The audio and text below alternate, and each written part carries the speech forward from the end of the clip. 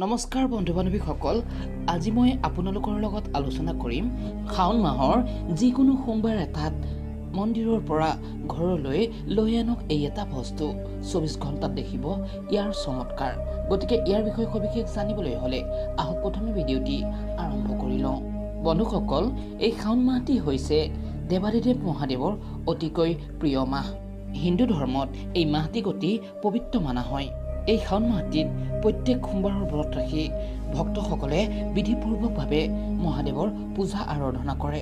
কোৱা হৈছে এই শাওণ মাহৰ সোমবাৰৰ ব্ৰত পালন কৰিলে ভক্তই মনে বিচৰা বৰ লাভ কৰে। পৌৰাণিক আখ্যান অনুসৰি এই শাওণ মাহটিতে দেৱী পাৰ্বতীয়ে সোমবাৰ ব্ৰত পালন কৰি মহাদেৱক স্বামী হিচাপে লাভ কৰিছিল।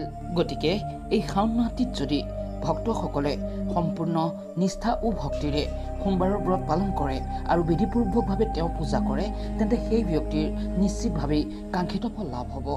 গতিকে জানো আহক এই পবিত্ৰ মাহটিত মন্দিৰৰ পৰা এনে কি বস্তু আছে যি ঘৰলৈ আনিলে?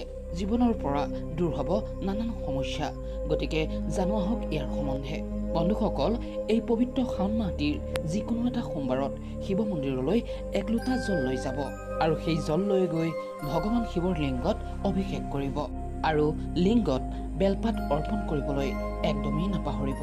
তাৰ পাছত মহাদেৱ শিৱৰ মহামন্ত্ৰ ওম নম শিৱায় মন্ত্ৰ ফাঁকি এশ আঠবাৰ জপ কৰিব আৰু আপোনাৰ মনৰ কামনা জনাব।